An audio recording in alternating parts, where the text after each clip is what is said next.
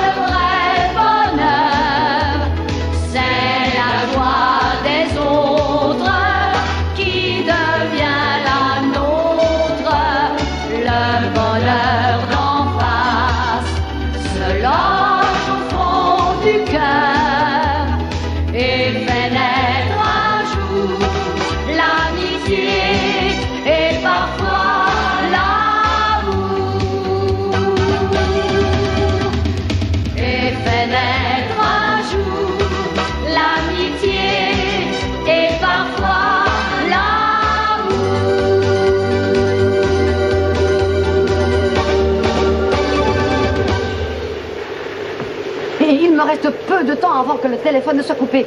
Alors écoutez-moi, monsieur Maréchal, écoutez-moi bien. C'est peut-être la dernière fois que vous m'entendez. Non, je ne vais pas changer de couvreur. Seulement, nous ne survivrons pas à cette catastrophe et vous aurez des victimes sur la conscience. L'eau monte. Enfin, plutôt elle descend. Les casseroles, ça ne suffit plus. Il faut prendre des bassines. Tout va y passer. Non, je ne dramatise pas. Vous en perdrez le sommeil. Votre vie deviendra un véritable cauchemar, monsieur Maréchal. Comment ça, vous êtes débordé Et nous alors Les crues du Nil, vous connaissez J'exagère. Monsieur, j'ai voyagé, j'en ai vu des catastrophes naturelles, des éruptions volcaniques, des révolutions, mais des couvreurs qui vous laissent tomber. Euh, quand nous essuyions une tempête de force 6, alors ça jamais. Oh un marin On coule Non, pour l'instant ça va, mais toutes les tuiles s'en vont une à une. Il faut retenir cette tuile de malheur Mais nous ne sommes pas assez nombreux. Vous entendez, monsieur Maréchal, nous prenons l'eau de toutes parts Parce que ça fait trois mois que je vous attends Irène, qu'est-ce que je fais pour ton lit? Ben quoi, mon lit? Mais pour le moment il fait éponge, mais ça va pas durer.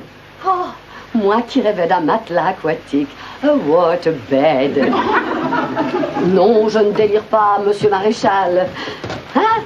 Votre baignoire déborde. Eh bien, moi, c'est mon lit. Qu'est-ce que vous dites de ça hein Qu'est-ce que tu fais Bah, j'arrose. L'eau de pluie, c'est excellent pour les plantes. Elisabeth, tu crois Oh, vraiment J'y vais, j'y vais, j'y vais, j'y vais. Et Rakam, pourquoi tu l'emportes Oh, ça va l'amuser. Il aura jamais vu autant d'eau. En résumé, en résumé, le grenier est inondé. Et le grenier, c'est marchand. Comment ça, quelle idée Mais je couche où je veux, cher monsieur. Et à cause de vous, ce soir, je coucherai sous les ponts. L'antenne de télé vient de s'envoler. Elle est tombée sur la verrière du voisin. Vous entendez les dernières nouvelles du front? Plus de télé. Oh, la situation devient tragique. Et tout ça par votre faute. Ah non, c'est la goutte qui va déborder. Le... Un canot de sauvetage. On l'évacue. Non, non, mais c'est plus efficace que les casseroles. On sait jamais en cas d'inondation générale. Idiot. Oh, non, non, non, pas vous, monsieur Maréchal. Quoi?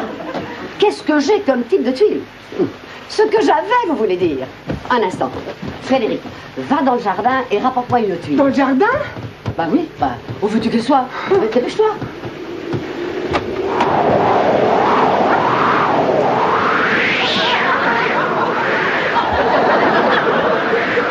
Ne quittez pas, la tuile arrive Les mouettes commencent à arriver.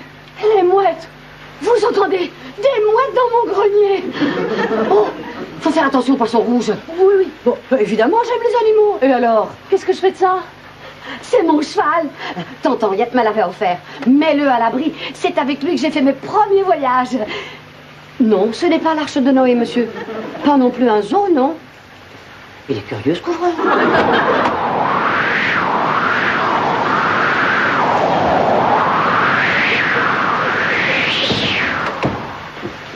Ah, merci. Euh, bon, alors nous disons euh, tuile ordinaire. Plus de précision. Euh, tuile ordinaire, rouge et, et cassée. Ah, ça se fait beaucoup, c'est en dernier. Vous allez venir voir. Parfait, je vous attends. Euh, oui, on vide le grenier. Non, non, non, non, non, non, non, je ne bouge pas. Vous me trouverez debout au milieu des épaves. Un vrai capitaine ne quitte pas son navire. Il vient. Oh.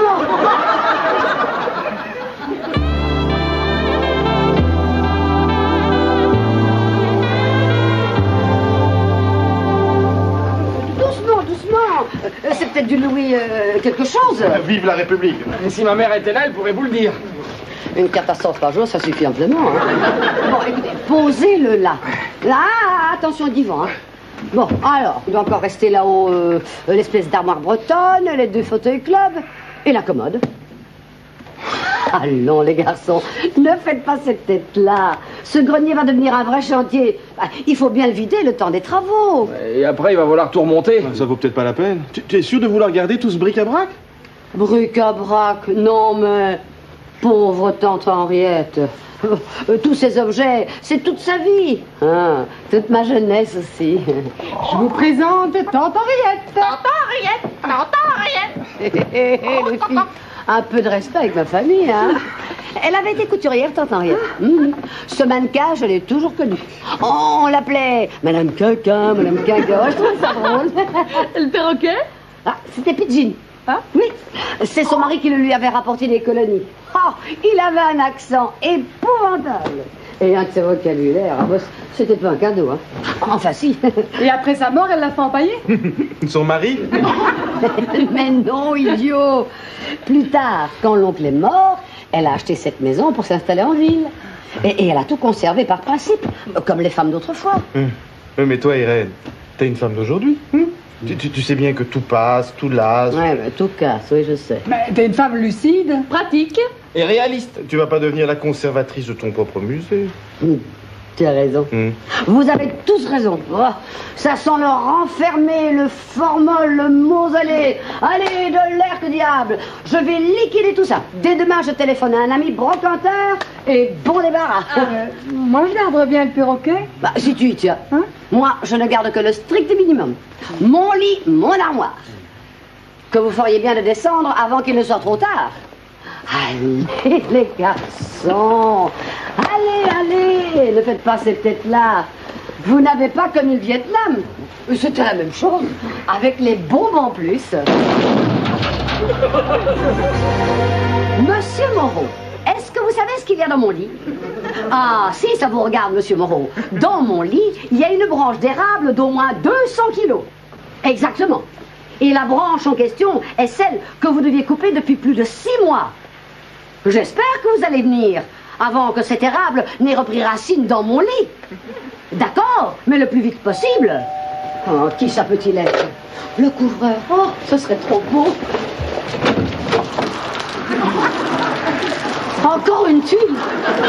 C'est à vous? Oui, je les collectionne. Malheureusement, le temps ne s'y prête pas. Elle est tombée juste à côté de moi.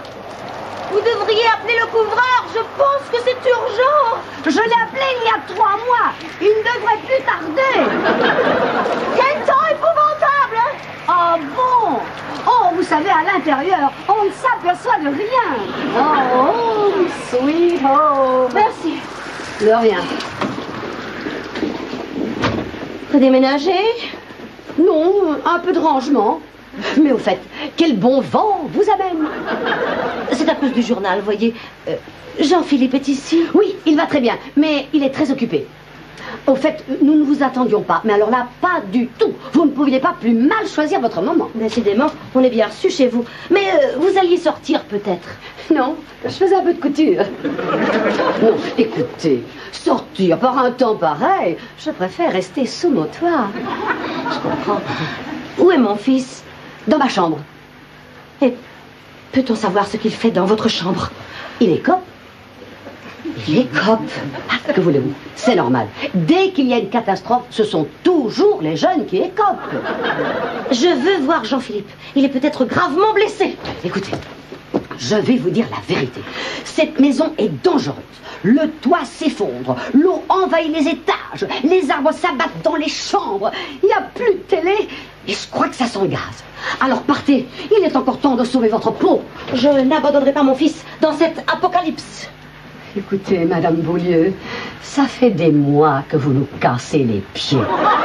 Maintenant, ça suffit. Je n'ai pas le temps d'écouter vos états d'âme. Surtout pas aujourd'hui. Je dois d'abord penser à sauver les meubles. Madame Lecoin, là, vous dépassez la mesure. On vous confie des enfants. Et regardez où vous les faites vivre. C'est une honte. Jean-Philippe Mais tu marches Bah, bien sûr, maman. C'est vrai qu'il a fait d'énormes progrès ces temps-ci. Tu marches même très bien. Pourtant, dans le journal, il disait Le jeune Jean-Philippe Beaulieu s'est blessé à la cheville pendant le tournoi de Liège entre le cinquième et le sixième trou. Tes chevilles ont l'air enflées. Ah non, non, non, non, ça c'est pour l'étanchéité. Mais je vais très bien, maman, t'inquiète pas. Les journaux exagèrent. Il gonfle toujours tout. Je t'ai quand même amené quelques vitamines contre la décalcification. Mais Puisqu'il vous dit qu'il n'a rien. Attention devant Une rescapée du naufrage Bouge-toi, maman, tu gênes l'évacuation. Qu'est-ce qui se passe ici? On monte une brocante, gendarme. Viens à la cuisine, nous serons plus tranquilles. Il existe deux sortes de calamités. Les naturelles et les autres. Voilà, maman, nous serons plus tranquilles ici. Tu veux que je te prépare une tasse de thé? Non, merci. Elle est un peu bizarre, cette femme. Tu ne trouves pas hein Qui ça, Irène Irène est la femme la plus merveilleuse que je connaisse. Jean-Philippe, si ta cheville va mieux, tu peux remonter dans ma chambre. J'aurai encore besoin de toi. Mais je viens. Excuse-moi, maman. N'ayez pas peur dans la cam. Il a mangé ce matin.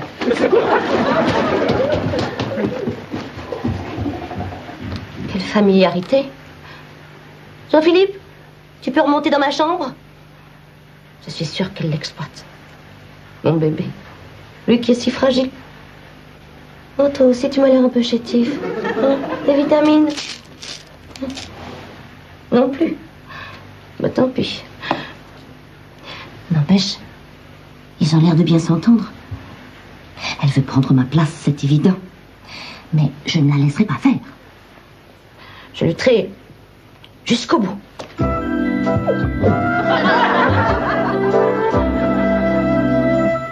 Disons, un cheval de bois, jouet d'enfant ayant appartenu à Irène Lecoin, mise à prix... 60 francs. Non, non, 50. Il est cassé et le vernis s'en va. Alors, deux chaises vermoulues, mise à prix... 100 francs la paire. En faisant des prières pour que personne ait la bonne idée de s'y asseoir. Oh, et cette petite commode. Elle a l'air ancienne. Hmm, trop, à mon avis, disons... euh, 600 francs 600 francs, sans le transport ni le nettoyage. hein. C'est peut-être cher, hein, 600. Mais donnez-la pendant que vous y êtes. Vous croyez? Mais ce meuble est griffé là, en bas à gauche. Oh, ça, c'est Robert quand il l'a descendu. Mais non, la, la griffe, la signature. Mais c'est signé là, Van Houlten, 1788. Van Holten, c'est plus cher? Ça n'a pas de prix. Nous voilà bien. Sans vouloir vous vexer, je crois que vous n'y connaissez pas grand-chose. Je peux vous dire que ça vaut bien euh, 15 000 francs. Au bas mot, 15 000 francs. Hum. Ça va payer le couvreur. pauvre jeunesse. Et cette petite table télé, là, qu'est-ce que vous en pensez? C'est pas une table télé, c'est une, une table de jeu, fin 19e. Elle est un peu abîmée. Comptez 3 000. Magnifique 3000. Et ce lampadaire rococo, dites-nous, Madame Beaulieu. C'est un porte-manteau anglais. Et ça vaut combien? Alors, je ne suis pas très experte. Oh, Mais si, vous êtes formidable. Bon, alors disons euh, 600. Il y a des maniaques. Dites donc, vous pourriez pas jeter un coup d'œil sur les prix qu'on a déjà marqués parce que c'est vrai qu'on n'y connaît rien. Oh oui, ce serait sympa. Si vous y tenez, en attendant que je sèche. Mais c'est vrai ça, vous êtes trempé. Mais d'où sortez-vous? De la cuisine. J'ai parlé avec le poisson rouge. C'était pas la peine de vous installer dans son bocal. Vous- On va vous prêter des vêtements secs et vous allez vous changer. non, non, non, je, je vous en prie, ça ira. Allez, ne faites pas de manière, allez entre filles. Allez. Allez, laissez-vous faire. Mais je ne veux pas vous déranger, vous êtes en plein bouleversement. Attention, ne l'abîmez pas. Je fais ce que je peux. Doucement, doucement. On va le mettre dans ta chambre, c'est la plus grande. J'aurais vraiment tout fait ici, moi. Un, m'enrhumer. Deux, déménager. Pour une fois que tu fais quelque chose à peu près convenablement. Oh, Vous réglerez vos comptes tout à l'heure.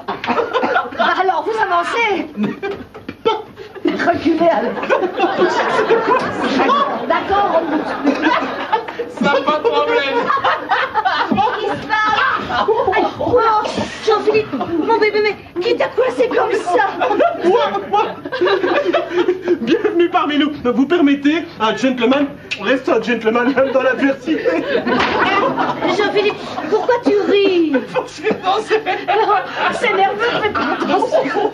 Mais Madame Beaulieu, elle trempe comme une soupe pour qu'elle se change dans ma chambre. Non, impossible, le lit est vraiment coincé, tu sais. Alors on va l'aider à enjamber le lit. De ne pas vous ennuyer Quel est le prénom de ta mère Clémentine, mais dans la famille, c'est bon. Pompon, va falloir que vous enjambiez ici. Alors, oui, envoyez le colis. Voilà, laissez-vous aller, Pompon, c'est tout bon. Ah, ouais.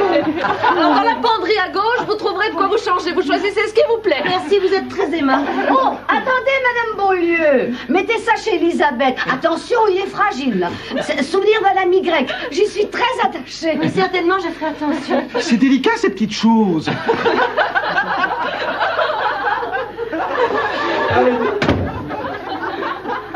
C'est original.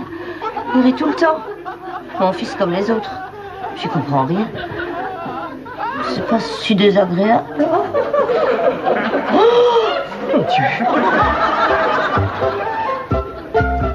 Eh ben voilà, on a presque tout étiqueté. Il reste plus qu'à faire enlever tout ce bazar. Ça prend de la place? Et de l'argent? Madame Beaulieu dit que la commode vaut une fortune. Une petite vis et elle sera comme neuve. Je la mettrai ici. Tu ne trouves pas que ce serait charmant? Je croyais que tu voulais tout liquider. Tout, tout, tout, peut-être pas. Euh, tiens, il est rigolo ce porte-manteau. Repeint en blanc, près de la porte d'entrée, ce sera parfait. D'accord, d'accord. Bon, ben je vais le mettre de côté avec la, la lampe alors. Il n'est pas question de vendre ce chandelier. Il vient de chez ma grand-mère. Non, non, on l'a descendu par erreur. Bon, moins 750 francs. L'argent, l'argent, c'est pas tout dans la vie. Ah, ces mille petits riens qui nous rappellent ceux qu'on a aimés. Toutes ces choses qui sont un peu nous-mêmes. Alors, qu'est-ce qu'on vend? Rien. On n'abandonne pas sa mémoire.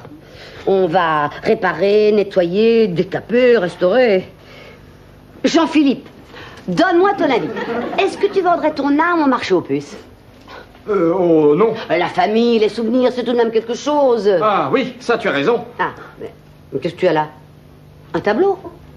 Ah non, c'est fini. Je ne vends plus mon patrimoine. Même si c'est une croûte, elle a une histoire. C'est bien une croûte, mais il s'agit de mon patrimoine. C'est un portrait de la tante Marie.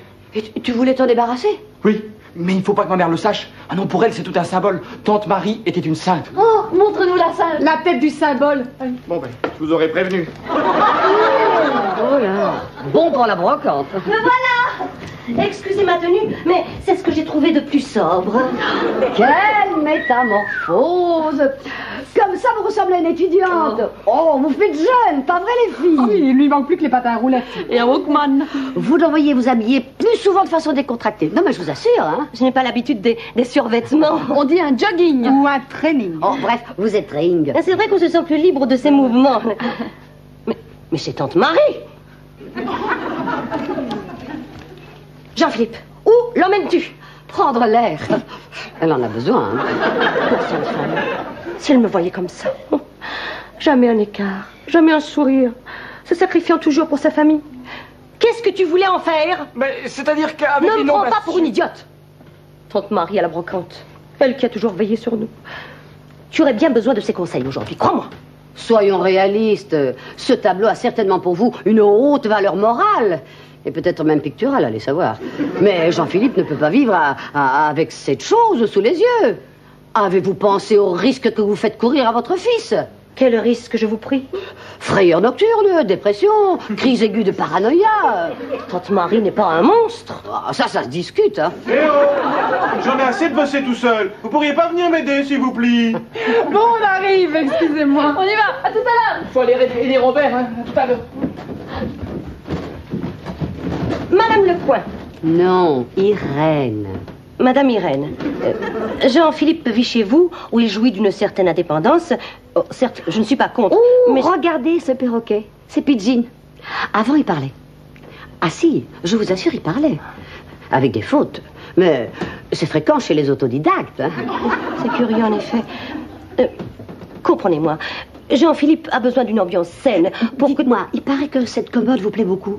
Euh, oui, oui, c'est un Van Houten. La facture en est très délicate. Ah, vous avez un goût très sûr. Vous n'avez jamais voulu être antiquaire.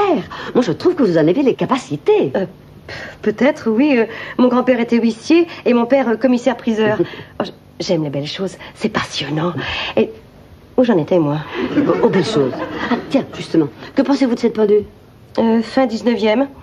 Un peu trop travaillé à mon goût, mais ça revient à la mode. Non, Pour Jean-Philippe, je voudrais être franche. C'est ce que j'aime en vous. La franchise, la disponibilité. Vous avez le cœur sur la main. Vous exagérez. Non, non, ce sont des qualités trop rares de nos jours. Les gens sont si égoïstes. Là, vous avez raison. Euh, tandis que vous, sous des dehors austères, vous cachez des trésors de, de tendresse, d'affection. Vous le pensez vraiment? Ça crève les yeux. Venez, nous allons préparer un encas pour nos travailleurs. Ils doivent mourir de faim là-haut. Eh ben, Voilà, je, je vous suis. Nous continuerons à bavarder dans la cuisine. De dehors austère. Enfin, Pompon, les enfants sont faits pour voler de leurs propres ailes. C'est la vie. Vous coupez les petits pains en deux. Je suis d'accord, Irène, mais mon Jean-Philippe a toujours été un enfant calme et obéissant. Et puis soudain, depuis qu'il vit ici, Il est plus sûr de lui, plus ferme. Vous prenez du beurre là. vous voulez dire qu'il prend des initiatives sans me consulter. Euh, C'est bien normal, il est adulte. Et vous tartinez largement. Je dois vous avouer que j'ai jamais fait de sandwich. À la maison, c'est Marie-Jeanne qui s'occupe de ces choses.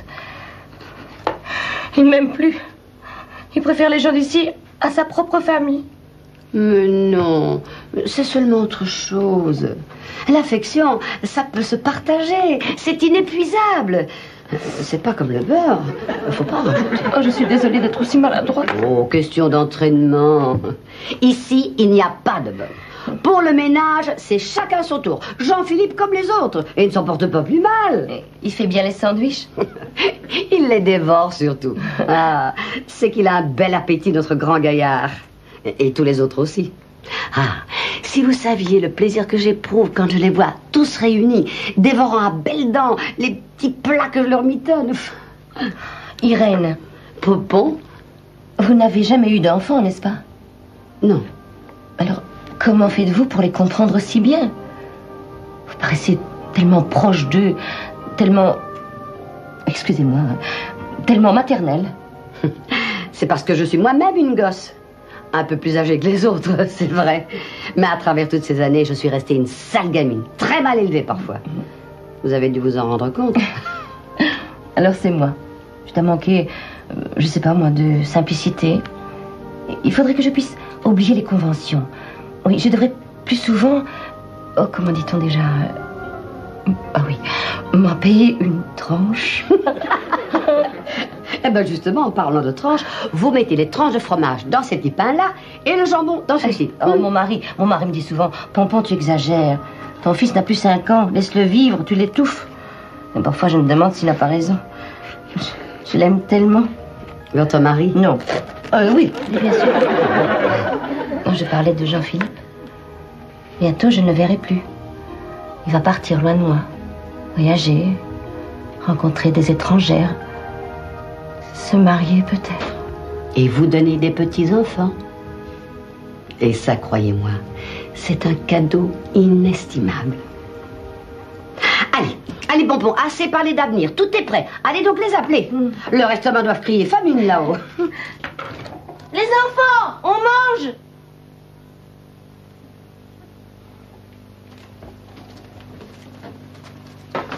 Les enfants, on mange